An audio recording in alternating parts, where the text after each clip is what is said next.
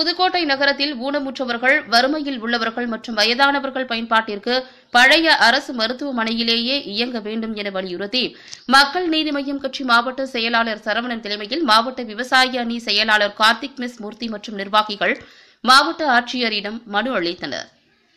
நகரத்தில் அரசு தலைமை மருத்துவமனை பல ஆண்டுகளாக இயங்கி வந்தது.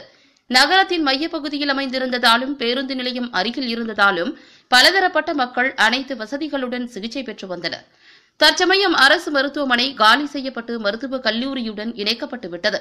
மருத்துவக் கல்லூரி மருத்துவமனை புதுக்கோட்டை பேருந்து நிலையத்திலிருந்து சரியாக ஐந்து புள்ளி ஐந்து கிலோமீட்டர் தூரத்தில் அமைந்துள்ளது. வயதானவர்கள் பேருந்தில் ஏறிச் செல்லவும் மிகவும் ஏழ்மையானவர்கள் சென்று வர வசதியின்றியும் ஊனமுற்றோர்கள் உடனே சிகிச்சை பெறுவதும் கேள்விக்குறியாகிவிட்டது. சிறு சிறு பரிசோதனைகளும் சத்து மாத்திரை சர்க்கரை மாத்திரை வாங்குவதற்கும் நெடுந்தூரம் சென்று வருகின்றனர். புதுக்கோட்டை மையப்பகுதியில் அரசு மருத்துவமனை ஏதும் இல்லை. அரசு மருத்துவக் கல்லூரி மருத்துவமனைக்கு சென்று வர முடியாததால் பல பொதுமக்கள் தனியார் மருந்து கடைகளில் விலைக்கு மருந்து மாத்திரைகளை வாங்கி சாப்பிட்டு வருகின்றனர். மெடிக்கல் ஷாப்பில் சரியான மருந்து வாங்குகின்றனரா என்பதும் தெரியவில்லை. நகரப்பகுதியில் புறநோயாளி மருத்துவமனை அமைத்தால் மக்கள் இந்த சிரமத்திலிருந்து காப்பாற்றப்படுவார்கள்.